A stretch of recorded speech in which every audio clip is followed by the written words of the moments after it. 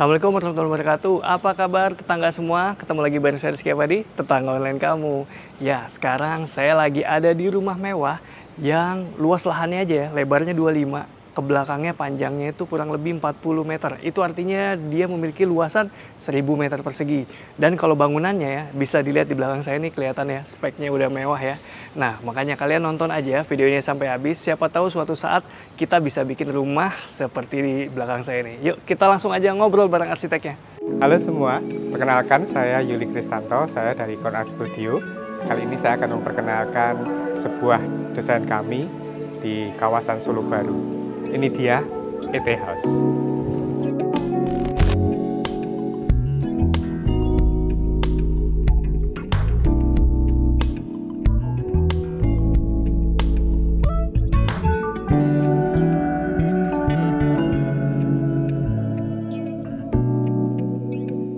Saya mewakili pertanyaan netizen nih kayaknya.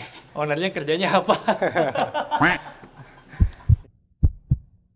Nah sekarang saya lagi bareng mas arsitek nih namanya Mas Yuli. Tadi Ya. udah kenalan ya di depan Ya, ya. ya. Nah beliau ini adalah prinsipal dari Con uh, Art. Con Art Studio. Nah kita mau bahas karyanya yang yaitu yaitu EP House. EP House. EP House, oke mas. Bisa diceritain nih. Saya tadi udah udah cerita sama teman-teman soal luasan lahan. Nah, Oke. luasan bangunannya ini berapa? Oke, Eh, EP House itu singkatan sih, jadi elegan dan tik gitu ya. Jadi konsepnya ini kita sedang menceritakan bagaimana keeleganan dibalut dengan kekuatan gitu ya. Ya, ini lahannya di 1000 meter memang.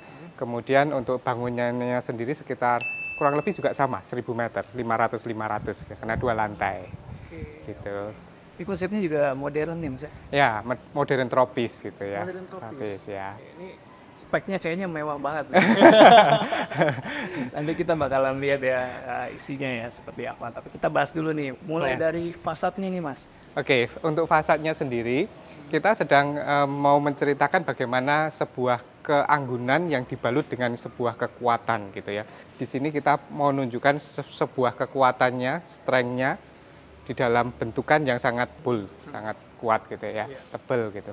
Topi-topinya ini cukup panjang karena kita mencoba untuk menghadapi supaya tidak tampias apabila hujan angin masih aman, tidak sampai ke dalam. Kenapa kok kita pakai eh, material yang granit seperti ini? Karena untuk jangka panjang. Satu memang supaya tidak banyak ngecat gitu ya. Kalau cat itu mungkin ada masanya, misalkan ya 3 5 tahun mungkin butuh perawatan kembali gitu. Tetapi kalau kita pakai granit ya boleh selamanya lah gitu.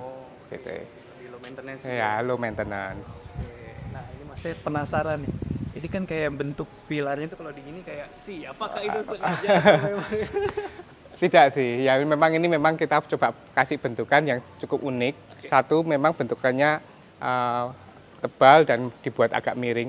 Memang ada eh, variasi ya, sobekan Ya. untuk membuat ti- tidak biasa saja kotaknya. Jadi benar-benar unik aja, sebuah keunikan aja gitu. Oke, saya kira mau trademarknya Ya. Iya, betul juga ya.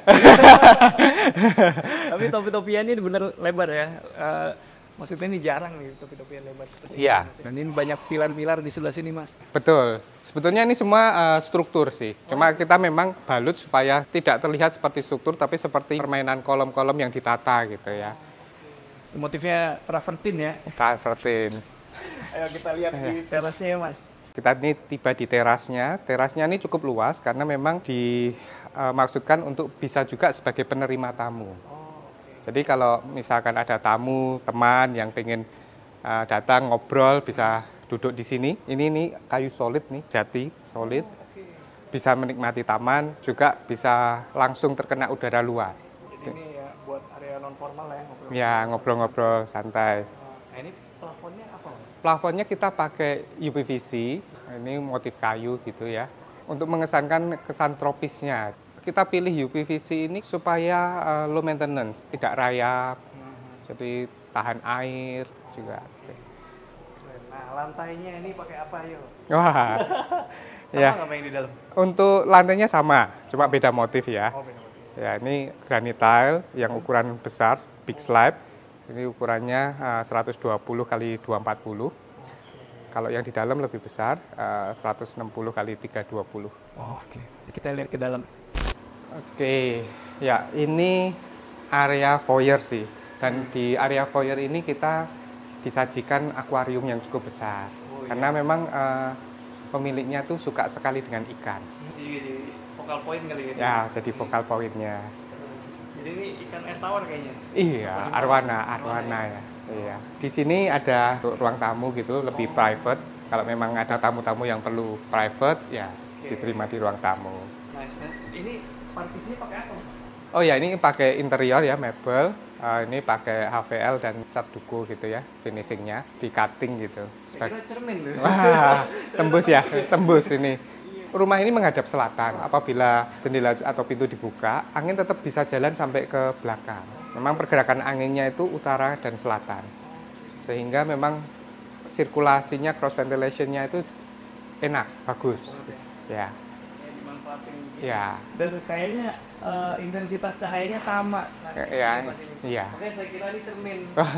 Iya, soalnya biasanya kan kalau itu ada gelap di bagian Iya, kan betul. biasanya. Nah, kalau ini intensitasnya sama jadi mikirnya Oke, kita langsung beranjak ke Ya, ini ruang keluarganya. Pemiliknya memang suka ruang keluarga yang cukup besar karena suka kumpul ya. oh, Ini memang dibuat open space supaya terlihat luas gitu. sebelah sana partisinya. Kaca, kaca ya, sehingga tembus ya. Iya. Seolah-olah nggak ada sekatnya lah gitu. Kita dulu nih? Nah, ini ini ini ruang makan ya. Ini ruang makan sama pantry. Di sana ada pantry. Nah, ini ini kenapa dominan putih, Mas? Apa khusus? Iya, pengennya memang lebih terlihat terang gitu ya. Owner juga pengen biar tidak ada suasana gelap gitu. Dan kita memang buat banyak bukaan, pencahayaannya masuk cukup banyak sehingga tidak ada ruang gelap di sini. Di sebelah sana tuh ada kolam ikan karena memang eh, owner suka ikan. Jadi ada kolam ikan dan memang ada suara gemerisik air. Jadi suasananya bisa membangkitkan kehidupan lah gitu ya di dalam rumah gitu. Ini pantry-nya. Nah, ini pantry-nya. Sedangkan dapur kotornya di arah eh, area servis ya. Ini kan rumahnya kalau dari depan tuh modern ya. Begitu juga dengan dalamnya Iya. juga modern nih. Pantry-nya jarang lihat saya. Ya, ini eh, pakai kaca, aluminium kaca sih ya, ini.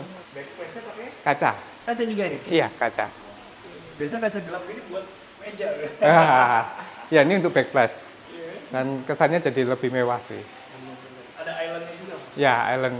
Kalau misalkan duduk butuh makan-makan kecil, ya di sini cukup lah. Ya, ini peliharaannya nih ikan koi. Ini cukup dalam kolamnya nih. Oh iya. Ini dalamnya dua setengah meter. Dua setengah. Oh, makanya dikasih partisi gini. Iya, cukup dalam. Ke pilihan anak kecil jadi penting. Oh ya. Ini void ya, void untuk pencahayaan. Oh iya nggak ada. Malah dindingnya pakai batu alam ya. Ya, Batu apa namanya mas? ini pakai batu paras sih sebetulnya. Cuma yang diambil yang kulitan gitu ya. Sehingga memang bentukannya uh, acak gitu. Kita lihat lagi ke bagian dalam.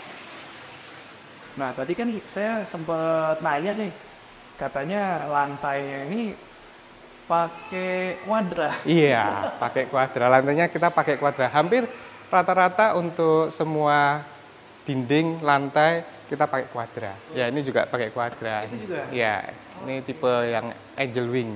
Ya, motifnya seperti sayap gitu ya. Oh iya, itu ini lihat. Ya, keren. Di mas rumah mewah seperti ini di lantai satunya ada kamar mandinya kan? Ada kamar mandi tamu ya? Kamar mandi tamu. Iya, Oke, untuk terima tamu. Oke, mari. Wah di sini muat kita masuk berdua. Ini berlima juga muat ini. ya, ini kamar mandi tamunya dilengkapi ya ada urinoir, ada wastafel, kloset, dan ada uh, showernya. Nah ini rumahnya ada berapa kamar? Kamar di lantai satu ini ada kamar uh, tidur tamu. Ini ada ruang kerja. Di atas ada tiga kamar tidur anak dan kamar tidur utama. Di atas empat. Berarti di atas empat. Empat di bawah. Ada satu kamar tidur tamu. Ada lima. Itu yang difungsikan buat kamar ya. Iya. Lain ruang kerja itu Iya. kamar. Dan kamar. Kita bahas mana dulu nih? Oke, ini memang permintaan memang ada kolam renang dan karena memang suka kumpul, pengen bisa duduk-duduk di dekat kolam renang gitu. Kalau misalkan oh ya renang sambil ada yang renang, ada yang makan, kumpul, cukup ada tempat yang mau fasilitasi gitu. Sampai ada mejanya segala tuh ya. Ya, ya ini kayak bar di kolam gitu ya. Minibar ya. Ini mini bar di kolam. Dan ini bahannya ini kita pakai yang agak kasar supaya tidak licin sih. Oh iya, ini outdoor ya. Ya. Pakai apa nih mas? Ini pakai kerikil sikat gitu ya. Oh, pakai batu sikat gitu. Gitu ya. Ininya pakai eh, teraso. Iya, kayak teraso yang langsung onsite ya. Dan ini untuk nyambungin area lantai satu dan ke lantai dua kita buat lubang di atasnya. Oh iya.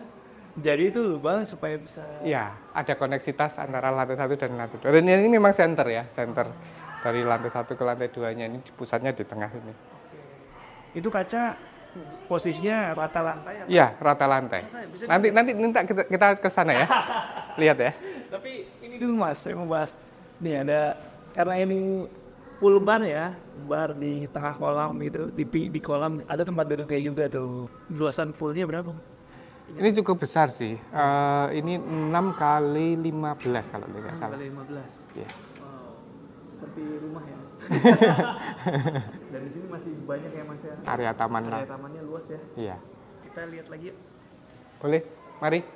Ya, ini eh, bukaan-bukaan ini untuk membuat sirkulasinya berjalan ya, supaya rumahnya ini minim AC lah gitu, lebih hemat energi. Nah, belakang saat ini jadi ini ya. Ya, tempat bermain. Di bawah tangga ini dimanfaatkan untuk tempat sepatu ya, sama tempat permainan anak-anak. Mari naik.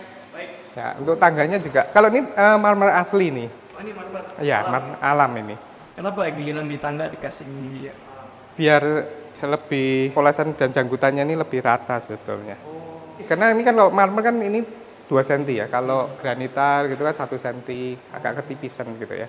Di area lantai dua ini sebetulnya ada ruang kumpul sih, cuma ini memang belum di set karena kamar semua berada di lantai dua. Jadi kalau butuh kumpul ya kumpulnya di lantai dua aja, nggak usah turun gitu ke bawah. Oke, kita ke kamar anak. Kebetulan anaknya masih kecil-kecil, jadi eh, kamarnya juga sudah di set untuk sampai besar sih, tapi perlu kita kasih penghalang supaya tidak jatuh. Dekorasinya masih anak-anak ya. Ah, anak-anak. Nah, di kamar anak ini juga saya lengkapi kamar mandi dalam sih. Jadi setiap kamar semua ada kamar mandi dalam. Ini pakai apa mas? Eh, ya, ini pakai eh, panel sih ya. Ini di duku. Ini duku. Duku. Kira kirain PVC ya. Nah, ini panel, ini pakai duku. Ini juga. Iya, Oke.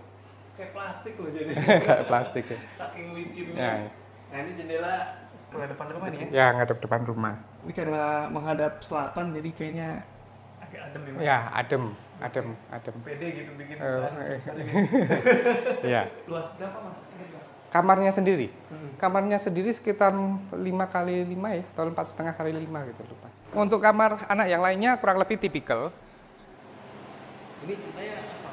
Ini bar gitu. Ya, ini minibar dipersiapkan supaya nggak naik turun nih. Oh oke. Dan naik turun kalau pas butuh ya disiapkan. Kita keliling lagi. Ini kamar anak. Kamar nomor dua. Ya, ini kamar anak tiga, tapi masih dipakai untuk tempat bermain. Oh iya. Apa? Boleh dilihat mas? Ya, Dilihat aja. masih masih.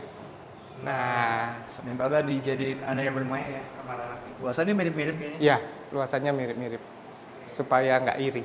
Penting tuh ya. Ah, ini teras depan. Yang tadi ini yang bentuknya kayak C ini tadi. Jadi ini pagernya lumayan tinggi mas ya. Pagernya tinggi karena bangunan ini sebetulnya dari jalan naik 2 meter ke lantainya utama. Satu supaya bangunan itu terlihat lebih mengangkat gitu.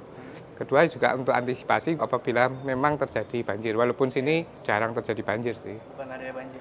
Ya dulu mungkin pernah ya, tapi sekarang sudah tidak pernah lagi. Ya kita ke kamar utama ya.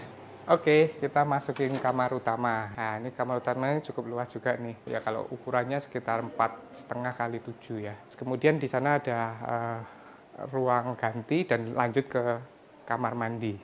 Walking closet, Ya, ruang hias, ruang hias, dan kamar, kamar, kamar mandi. mandinya. Disiapkan juga ada bathtub, Lengkap dengan bathtub. ya bathtub dan shower ya. Mas, tapi saya baru lihat loh. Bathtub yang double gini. Oh, oh, ya. Iya. Makanya.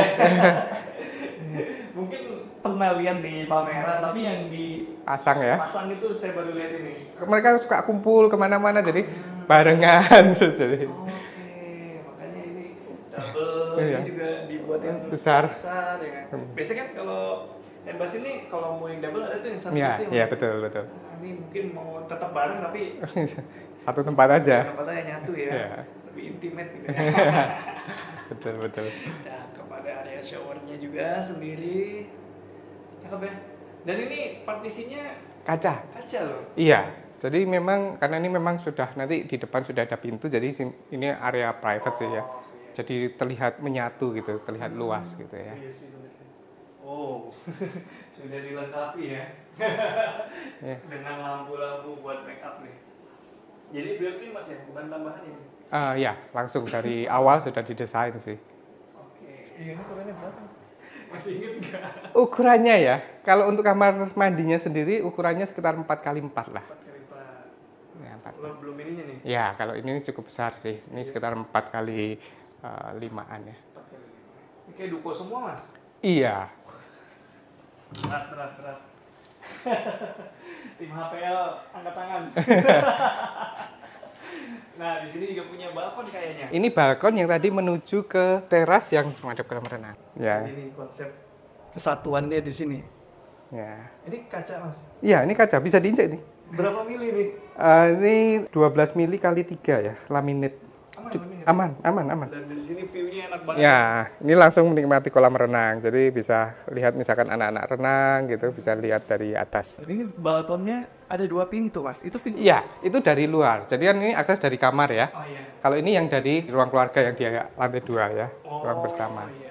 Tanpa harus Iya. masuk kamar. Ya, ya. betul betul. Kita bahas apa lagi nih? Ah, di sana ada ruang fitness. Ah, ini ruang fitnessnya. Banyak loh ini alatnya. Iya, ini alatnya cukup banyak ini. Suka fitness. Kontennya ya? Iya, suka olahraga. Ya, sepeda. Ini full- full set ya. Eh, kalau mau udara segar ya, bisa tinggal buka. Ya, ini dibuka, dibuka, dibuka. Ini. Tinggal mesti AC. AC ya. Nah, ini partisi buat apa mas? Ya, ini supaya tidak terlalu kelihatan dari depan ya. Jadi kita sedikit kasih penghalang gitu ya. Ini bahannya aluminium sih. Tapi motifnya kayu. Dari awal kita pertimbangkan supaya low maintenance sih dan ja- bisa jangka panjang gitu. Nah, biasanya kan kalau rumah mewah kayak gini nih jarang ya yang, yang masih lihat area servis, area jemurnya. Tapi kadang-kadang penonton saya suka pada kepo mas. Oh, boleh, boleh. Kita ke area servis ya.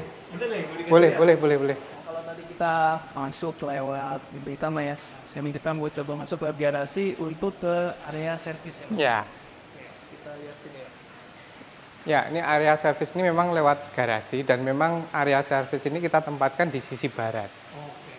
sebagai buffer terhadap bangunan intinya gitu ya. Kita melewati kolam koi. Ya, ini sebagai selasar untuk menuju area servis. Di area servis ini ada dua kamar ART ya dan dilengkapi kamar mandi. Nah, di sini ini ada dapur. Ini dapur kotor. Ini juga view-nya ke taman dan kolam. Wow, jadi ini benar-benar ya suatu kemewahan. Dapur kotor aja masih dapat view kayak gini. Untuk area cuci dan jemur di lantai dua. Nih, ini tangga servis ya, tangga servis ke- untuk ke lantai dua. Mari. Nah, rumah mewah pun butuh ya area servis. Ini jarang diekspos. ini area jemuran ini. Wah ini bener sih maksimal ini. Ya, ya, Kalau lagi trik ya mas ya. ya. Ini sisi barat. Sisi barat, Oke, jadi tadi udah dijelasin ya. Sisi baratnya di area buffer buffer, untuk bangunan utama. betul. Tapi Nah, saya masih punya beberapa pertanyaan. Kita lanjut ngobrol di bawah. Boleh, boleh. Mari. Yuk. Oke, kita lanjut mas ya. Oke. Sambil menikmati pemandangan di samping kolam renang yang ada mini bar. Oke. Bisa diceritain nggak mas? Kenapa mas eh, milih desain-desain seperti ini di sebagai rumah mewah gitu? Beberapa dari klien kami itu biasanya mereka itu selalu menginginkan itu bagaimana rumah itu low maintenance. Makanya kita berikan solusi untuk beberapa treatment ya, untuk beberapa kendala yang sering dihadapi itu biasanya kalau kaca Kaca itu dekat dengan uh, outdoor, biasanya kalau hujan tampias. Oh iya. Nah, oleh sebab itu kita kasih topi atau tritizen yang cukup panjang, cukup lebar. Dan itu sangat menghalangi air itu sampai ke kaca. PR banget ya bersihin Nah, kaca. capek soalnya.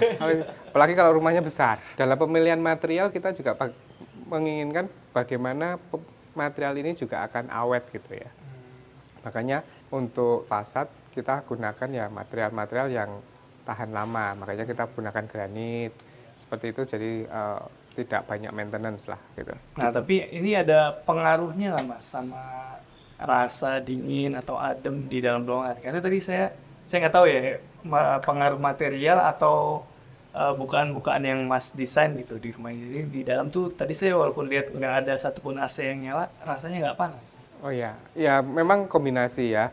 Satu memang cross ventilation itu sangat mempengaruhi bagaimana kenyamanan dalam sebuah bangunan hunian gitu. Material juga sangat mempengaruhi juga. Jadi penggunaan material-material granit itu memang lebih dingin lah dibandingkan dengan material-material yang kayu. Kalau kayu le- lebih kesannya hangat gitu ya. Jadi penggunaan material-material granit ini juga memberikan kesan lebih adem lah kalau di dalam rumah. Nah, satu lagi nih Mas, saya mewakili pertanyaan netizen nih kayaknya. Ownernya kerjanya apa?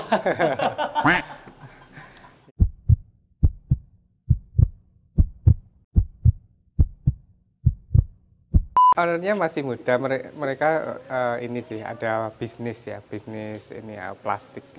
Wow. Dijawab beneran loh. Kirain mas saya nggak mau jawab. Ya. Saya nggak nggak nge-brief pertanyaan itu loh. saya iseng aja mau nanya mewakili pertanyaan kalian. Ternyata memang dijawab. Nah, Ya. makanya ini pebisnis mas ya. Ya, pebisnis. Ini ada tantangan tersendiri nggak mas membuat rumah mewah seperti itu? Tentu saja pada waktu membuat atau mendesain ya rumah mewah ini, eh, taste owner ini sangat berperan lah ya.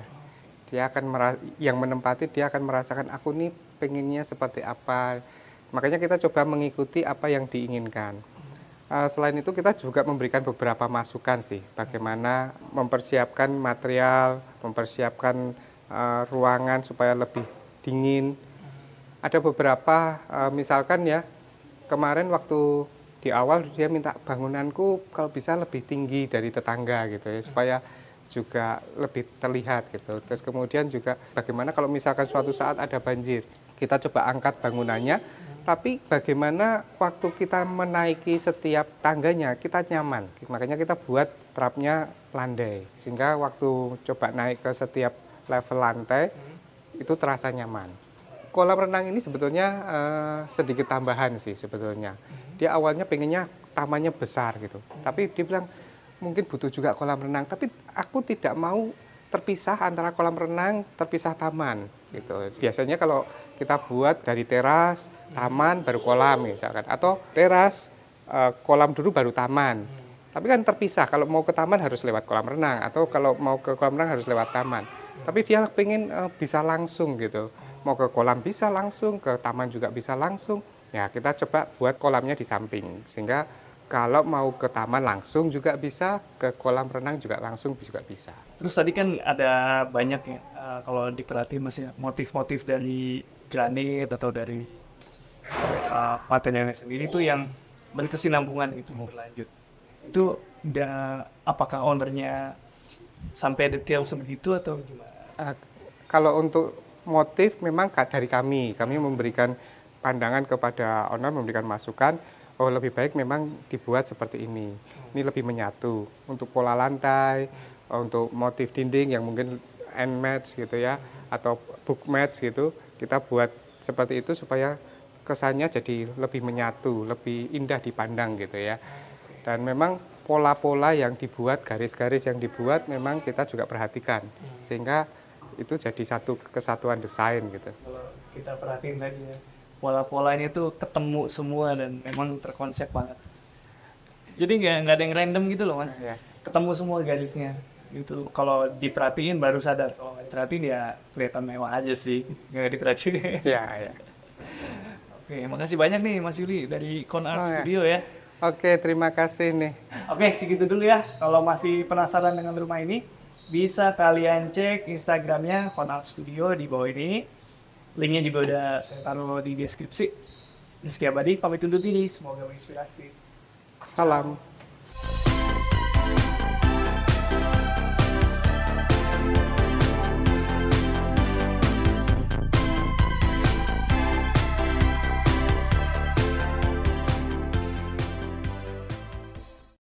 Coba aja.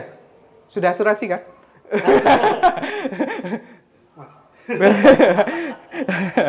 Gemeteran juga ya.